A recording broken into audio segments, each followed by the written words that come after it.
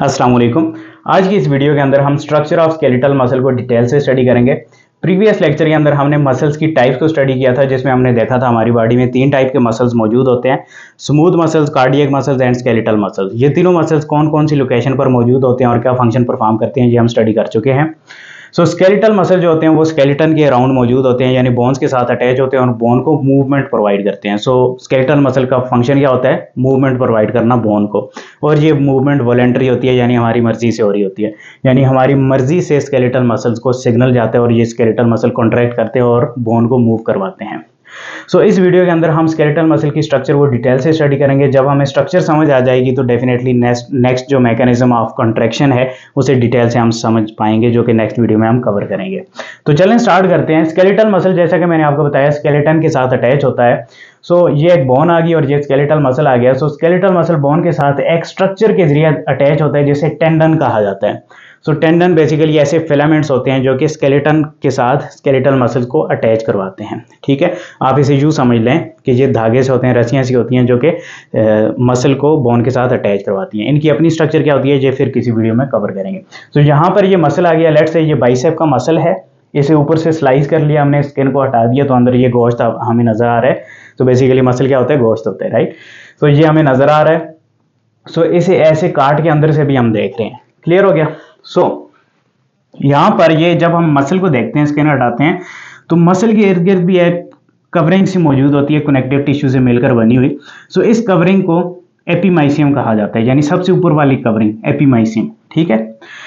सो so, जब हम इसे स्लाइस करके अंदर से देखते हैं तो अंदर हमें कुछ बंडल से नज़र आ रहे हैं। आप देख पा रहे हैं ये एक बंडल ये दूसरा। ये बहुत सारे बंडल्स नज़र आ रहे हैं। इन बंडल्स को मसल बंडल्स या फेसिकल कहा जाता है ठीक है? अच्छा इन बंडल के इर्द गिर्द अगर आप देखें तो ब्लैक कलर में मैंने एक और कवरिंग सी बनाई हुई है, ये एक और प्रोटेक्टिव कोटिंग होती है, जिसे पेरीमाइसियम कहा जाता है। क्लियर हो गया? यानी सबसे ऊपर वाली कवरिंग एपीमाइसियम जब हम उसे स्लाइस करके अंदर देखते हैं तो अंदर बहुत सारे बंडल हमें नज़र आते हैं, हर बंडल के इर्द गिर्द एक और प्रोटेक्टिव कवरिंग होती है, जिसे पेरीमाइसियम कहा जाता है। ठीक है? ओके सो ये जो मसल बंडल है एक मसल बंडल को हमने जूम इन कर लिया ठीक है? जैसे फेसिकल भी कहा जाता है। जब हमने इसे जूम इन किया तो इसके अंदर और बंडल लाइक हमें स्ट्रक्चर नज़र आ रही है आप देख पा रहे हैं। सो so, इनके इर्द गिर्द भी एक प्रोटेक्टिव कवरिंग होती है जिसे एंडोमाइसियम कहा जाता है। सो so, यानी कि सबसे अंदर वाली कवरिंग प्रोटेक्टिव कवरिंग आ गई। अब एंडोमाइसियम को अगर आप देखें तो इसमें आपको कुछ डार्ट से नज़र आ रहे हैं। ये डार्ट से बेसिकली अंदर को इलोंगेट हुए हुए हैं यानी अंदर तक गई हुई लाइनें सी हैं। सो so, इस एक लाइन को जब हम जूम करते हैं तो ये एक सेल होता है जिसे मसल फाइबर कहा जाता है। यानी मसल का जो सेल होता है उसे क्या बोलते हैं? मसल फाइबर सो इसे मैं मसल सेल भी साथ में लिख लेता हूँ। जिसे हम मसल सेल भी बोलते हैं। ठीक है? या फिर क्योंकि इस सेल के अंदर आपको बहुत सारे न्यूक्लियस देखने को मिलेंगे और ये बहुत लंबा सेल होता है, पतला होता है, लेकिन बहुत लंबा होता है सिलेंड्रिकल होता है, इसलिए समटाइम साइंटिस्ट इसे सेल नहीं बुलाते, बल्कि इसे सिंसिटियम बोलते हैं।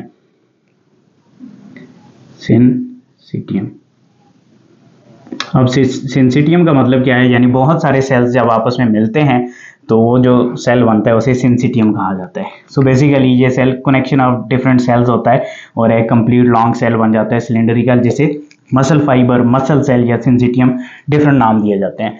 अब अगर आप मसल फाइबर के सेल को देखें तो इसमें आपको स्ट्रिप से नज़र आएँगी, यानी लाइने से नज़र आएँगी।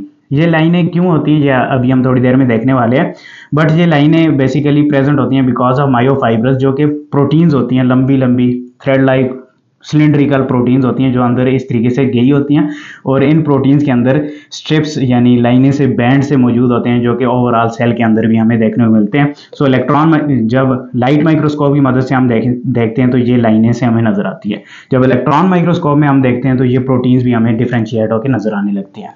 यहाँ तक क्लियर हो गया? दोबारा से मैं आपको बताता हूँ।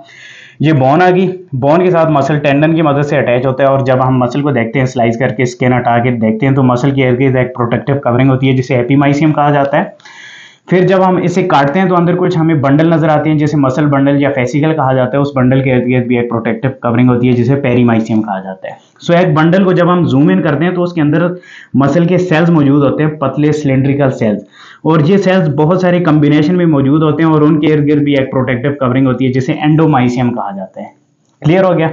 सो so, ये एक मसल फाइबर का सेल है जिसे मसल सेल मसल फाइबर या सिंसिटियम कहा जाता है। इसके अंदर मायोफाइब्रस यानी कि सिलेंड्रिकल प्रोटीन सी मौजूद होती हैं ठीक है? सो so, इसे अब हम डिटेल से जूम इन करके देखते हैं। सो लेट से ये एक मसल फाइबर का सेल है इसका कुछ पोर्शन काट के हमने यहाँ पर जूम इन कर लिया। सो so, ये एक short length of muscle fibre के सेल की है राइट सो so, जब हम इसे गौर से देखें देखें इस सेल को तो आप देख पा रहे हैं कि यहाँ पर एक डार्क बैंड है फिर लाइट बैंड है डार्क बैंड है लाइट बैंड है डार्क बैंड है। सो so, इस तरीके से आपको कुछ धारें सी नज़र आ रही हैं डार्क एंड लाइट बैंड की ठीक है? सो so, ये जो धारें हैं ये ओवरऑल स्ट्रिप्स काज कर रही होती हैं यानी स्ट्रिएट बना स्ट्रिएटेड बना रही होती हैं इन मसल्स को। इन मसल्स के अंदर लाइनें हमें इन इन स्ट्रक्चर्स की इन बैंड्स की वजह से नज़र आ रही होती हैं। ये बैंड्स किस चीज़ से मिलकर बने होते हैं इसे मजीद डिटेल में अभी हम थोड़ी देर में देखते हैं। यहाँ पर सिंपली आपने देखा कि कुछ लाइट और डार्क बैंड मौजूद हैं। ओके ये दो लाइट बैंड और अंदर एक डार्क बैंड ये एक स्ट्रक्चर होती है इसे सार्कोमेयर कहा जाता है। ठीक है? और ये इसके अंदर डेफिनेटली ये एक मसल फाइबर का सेल है इसके अंदर मायोफाइब्रल्स मौजूद होते हैं जिसे अभी हम जूम करके देखने वाले हैं। सो so, ये एक मसल फाइबर है इसमें बहुत सारे न्यूक्लियस एक सिलेंड्रिकल सेल के अंदर मौजूद हो सकते हैं। सो so, मैंने आपको बताया ये जो बैंड्स हैं लाइट और डार्क बैंड जिसे हम सार्कोमेयर भी कहते हैं यानी ये एक फंक्शनल यूनिट है। लाइट दो लाइट बैंड आ गया एक डार्क बैंड आ गया। इसे सार्कोमेयर कहा जाता है और ये एक फंक्शनल यूनिट है। कॉन्ट्रेक्टाइल यूनिट है मसल का, और इसी सार्कोमेयर की प्रेजेंस की वजह से स्केलेटल मसल के अंदर हमें स्ट्रिप्स यानी स्ट्रिएशन देखने को मिलती हैं। क्लियर हो गया? ओके लेट से अब इसका थोड़ा सा एरिया हम जूम इन कर लेते हैं इस सेल का, ठीक है? तो इस सेल की ये जो ऊपर डार्क लाइंस ये है, ये इसे हम जूम इन करते हैं तो ये इसकी सेल मेम्ब्रेन आ गई। बट मसल सेल की जो सेल मेम्ब्रेन है उसे सार्कोलेमा कहा जाता है। यानी प्लाज्मा मेम्ब्रेन या सेल मेम्ब्रेन जो मसल सेल की होती है उसे सार्कोलेमा कहा जाता है। ठीक है? अच्छा सेल के अंदर का जो साइटोप्लाज्म होता है, उसे सार्कोप्लाज्म कहा जाता है। माइटोकॉन्ट्रिया को माइटोकॉन्ट्रिया बोलेंगे। इसके अलावा सेल के अंदर आपको एंडोप्लाज्मिक रेटिकुलम देखने को मिलेगा, जो बेसिकली स्मूथ एंडोप्लाज्मिक रेटिकुलम होता है। So smooth endoplasmic reticulum muscle के स्मूथ एंडोप्लाज्मिक रेटिकुलम को सार्कोप्लाज्मिक रेटिकुलम कहा जाता है। इसके अलावा अगर आप गौर करें तो ये जो सेल मेम्ब्रेन है, जिसे सार्कोलेमा कहा जाता है, इसमें कुछ होल्स से मौजूद होते हैं, जिसमें एक ट्यूब सी अंदर को गई होती है इनवेजिनेट हुई होती है सेल के अंदर। सो ये एक ट्यूब सी जो बन रही है इसे ट्रांसफर्स या टी ट्यूब्यूल सिंपली कहा जाता है। ट्रांसफ़र सिस्टम ट्यूब्यूल भी कहा जाता है या टी ट्यूब्यूल आप इसे कहते हैं ठीक है? सो so, इस तरीके से एक टी लाइक स्ट्रक्चर बन रही है राइट ओके अगर आप इस टी ट्यूब्यूल को देखें तो इसके इर्द गिर्द सार्कोप्लाज्मिक रेटिकुलम यानी कि स्मूथ एंडोप्लाज्मिक रेटिकुलम मौजूद है ठीक है? सो so, ये एक ट्राइड स्ट्रक्चर बन रही है आप देख पा रहे हैं। एक टी ट्यूब्यूल है और दोनों साइड पर एंडोप्लाज्मिक रेटिकुलम है यानी कि सार्कोप्लाज्मिक रेटिकुलम है। ठीक है?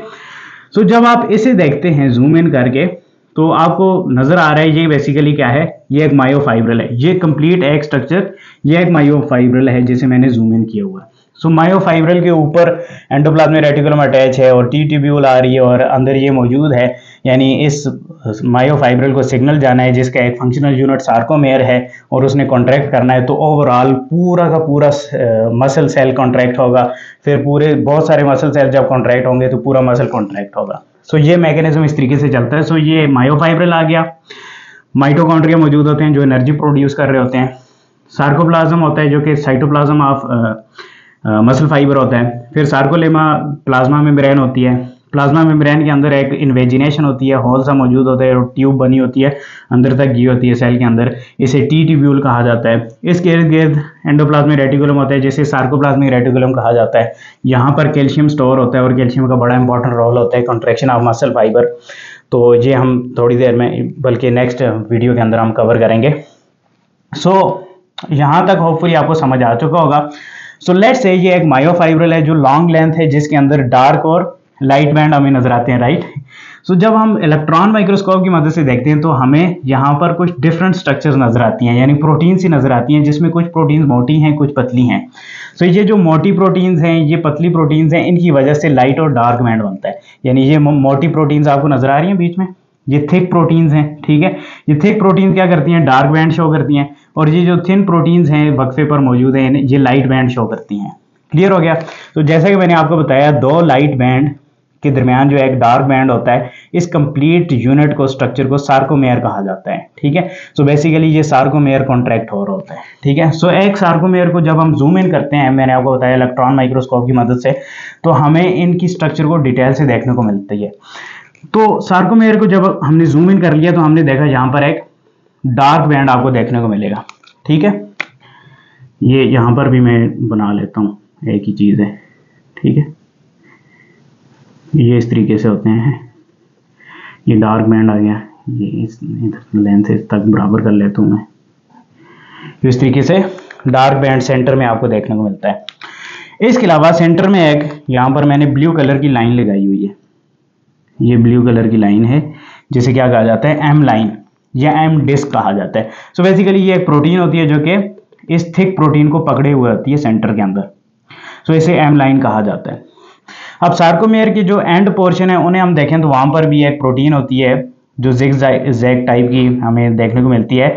सो इसे जेड लाइन कहा जाता है या जेड डिस्क कहा जाता है। ये भी एक प्रोटीन है जो कि थिन थिन फिलामेंट को अपने साथ अटैच की होती है। थिन फिलामेंट को पकड़ी हुई होती है। थिन फिलामेंट और थिक फिलामेंट कौन सी प्रोटीन है, ये भी हम देखने वाले हैं। सो यहाँ पर मैं आपको ज़रा सा बताता हूँ कि ये एक सार्कोमेयर है। सार्कोमेयर के जो एंड पोर्शन हैं, वहाँ पर जेड लाइन या जेड डिस्क मौजूद होती है। जेड डिस्क के साथ थिन प्रोटीन मौजूद है। सेंटर में जब हम आते हैं तो सेंटर में एक और प्रोटीन है, जिसे एम लाइन कहा जाता है। और ये एम लाइन के साथ थिक प्रोटीन मौजूद होती है। थिक फिलामेंट मौजूद होता है। तो अगर आप देखें, यहाँ से यहाँ से अगर हम देखते हैं तो ये एक ऐसा पोर्शन है जो कि डार्क बहुत ज़्यादा डार्क नज़र आता है। सो इसे ए बैंड कहा जाता है। ए यानी एन आइसोट्रॉपिक बैंड ट्रॉफिक और ये डार्क बैंड होता है। ट्रॉफिक ये एक डार्क बैंड होता है। सो so, ये बेसिकली ये वाला पोर्शन हमें डार्क नज़र आ रहा होता है मसल सेल के अंदर। इसे ए बैंड कहा जाता है, ठीक है? अच्छा अब आप यहाँ से देखें, ये वाला पोर्शन यहाँ से लेके ये दूसरे सार्कोमेयर के यहाँ तक, ये वाला जो पोर्शन होता है, इसे आई बैंड या आइसोट्रॉफिक बैंड कहा जाता है, ठीक है? Isotropic band basically light band होता है, यानी ये जो आपको लाइट बैंड नज़र आ रहा है, ये आइसोट्रॉफिक बैंड है, ठीक है? अब अगर आप देखें तो यहाँ पर एक सेंटर वाला पोर्शन है, जिसमें सिर्फ़ थिक फिलामेंट या थिक प्रोटीन आपको देखने को मिलती है। सो ये वाला जो पोर्शन होता है, इसे एच बैंड या एच जोन कहा जाता है। जो बेसिकली यहाँ से थोड़ा सा लाइट होता है। यानी ए बैंड में ये वाले पोर्शन बहुत ज़्यादा डार्क होंगे। क्यों डार्क होंगे कि इसमें ये थिक फिलामेंट भी है थिन फिलामेंट दोनों कंबाइन होके आ रहे हैं। और सेंटर से थोड़ा सा लाइट होगा और उस लाइट पोर्शन को एच बैंड या एच जोन कहा जाएगा, जहाँ पर सिर्फ़ थिक फिलामेंट मौजूद होगा। फिर यहाँ पर आएँगे तो यहाँ पर सिर्फ़ थिन फिलामेंट मौजूद होगा, थिन प्रोटीन मौजूद होगी, इसे आई बैंड कहा जाता है। सो होपफुली यहाँ तक आपको समझ आ चुकी होगी। अब अगर हम इसे जूम इन करके देखें थिक फिलामेंट और थिन फिलामेंट को तो हमें देखने को मिलेगा, ये एक थिक फिलामेंट है। Thick filament basically fibrous protein से मिलकर बना होता है। यानी धागे की तरह प्रोटीन्स होती हैं और बहुत सारे, तकरीबन 400 यूनिट्स ऑफ़ ये प्रोटीन आपस में मिलती हैं और एक थिक बैंड बनता है। So thick filament thick band को मायोसिन कहा जाता है। यानी ये प्रोटीन कौन सी है? मायोसिन कहलाती है। ठीक है? यानी ये सेंटर वाली प्रोटीन कौन सी है? मायोसिन प्रोटीन है, जो बेसिकली फाइब्रस प्रोटीन है। बहुत सारी फाइब्रस प्रोटीन आपस में मिली और थिक फिलामेंट बना। ठीक है? अब ये थिक फिलामेंट का जो हेड होता है, ये इस तरीके से बाहर को निकला होता है और ये ग्लोब्यूलर होता है। यानी हेड जो है वो ग्लोब्यूलर होता है। बाकी फाइब्रस प्रोटीन होती है। सो हेड ऊपर को निकला होता है और हेड का बहुत इंपॉर्टेंट रोल होता है कॉन्ट्रेक्शन में जो आगे वाली वीडियो में हम कवर करेंगे। ओके okay, जब हम थिन फिलामेंट को देखते हैं रेड कलर में यहाँ पर तो आप देख पा रहे हैं ये गोल गोल सी प्रोटीन से मिलकर बना हुआ है। सो so, बेसिकली दो ये लेट्स है ये एक एक्टिन प्रोटीन है इसका मोनोमर है ये दूसरा है। सो so, इस तरीके से ये मोनोमर आपस में मिलते जाएँगे और एक लॉन्ग थ्रेड बनेगी।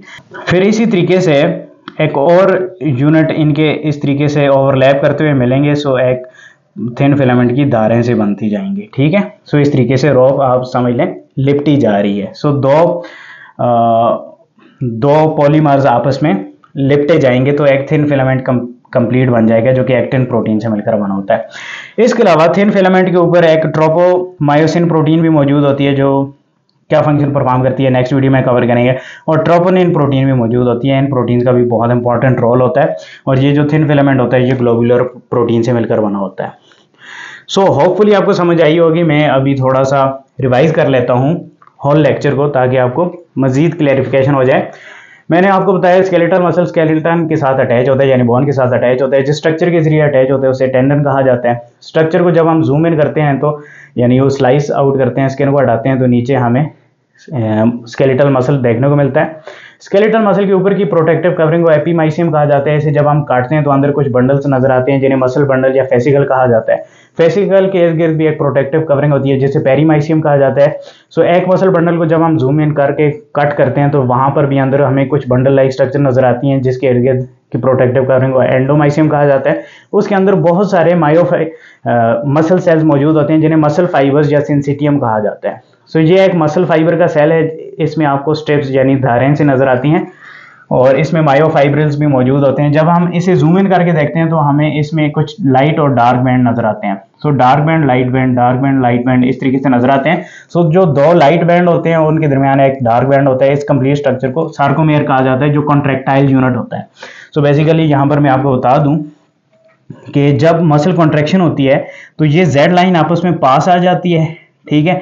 और ये इस तरीके से मसल कॉन्ट्रैक्ट होता है, यानी सार्कोमेयर कॉन्ट्रैक्ट और होता है। So functional unit muscle cell का क्या है? सार्कोमेयर है। और मसल फाइबर मैंने आपको बताया मल्टी न्यूक्लिएटेड होता है, बहुत सारे न्यूक्लियस आपको देखने को मिलेंगे सो इस सेल को जब हमने जूम इन किया तो हमने देखा कि साइड जो प्लाज्मा मेम्ब्रेन सेल मेम्ब्रेन होती है मसल फाइबर की, उसे सार्कोलेमा कहा जाता है। अंदर जो साइटोप्लाज्म होता है, उसे सार्कोप्लाज्म कहा जाता है। माइटोकॉन्ड्रिया भी देखने को मिलते हैं और एंडोप्लाज्मिक रेटिकुलम को सार्कोप्लाज्मिक रेटिकुलम कहा जाता है। इसके अलावा जो सेल मेम्ब्रेन है, उसके अंदर इन्वेजिनेशन मौजूद होती है, जिसे ट्रांसफर्स या टी ट्यूब्यूल कहा जाता है। टी ट्यूब्यूल के इर्द गिर्द एंडोप्लाज्मिक रेटिकुलम यानी सार्कोप्लाज्मिक रेटिकुलम मौजूद होता है। सो बेसिकली यहाँ जब मसल ने कॉन्ट्रैक्ट होना है तो सिग्नल इस तरीके से ट्रेवल करना है। टी ट्यूब्यूल से आना है और फिर सार्कोप्लाज्मिक रेटिकुलम की तरफ़ जाना है। यहाँ से कैल्शियम रिलीज़ होगा और मायोफाइब्रल फिर कॉन्ट्रैक्ट होगा कैल्शियम की रिलीजेज की वजह से यानी कैल्शियम अपना रोल प्ले करेगा जो नेक्स्ट वीडियो में हम कवर करेंगे। सो so, ये एक मायोफाइब्रल है जो सिलेंड्रिकल होते हैं। पूरे सेल के अंदर बहुत सारे मायोफाइब्रल मौजूद होते हैं। एक मायोफाइब्रल को जब हम जूम इन करते हैं तो उसमें जो लाइट बैंड है और सेंटर में डार्क बैंड है। इस पोर्शन को मैंने पहले भी आपको बताया सार्गोमेयर कहा जाता है।